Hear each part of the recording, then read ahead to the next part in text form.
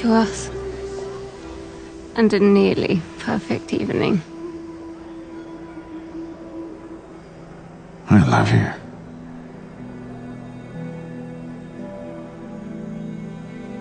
It's the first time you've ever said that. It can't be. You used to think it. But tonight you actually said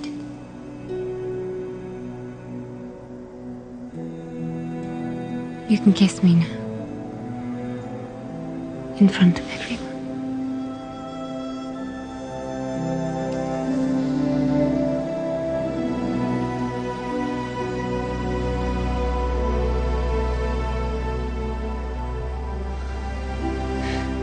It's our first night out together.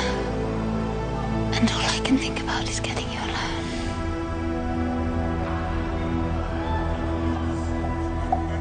alone.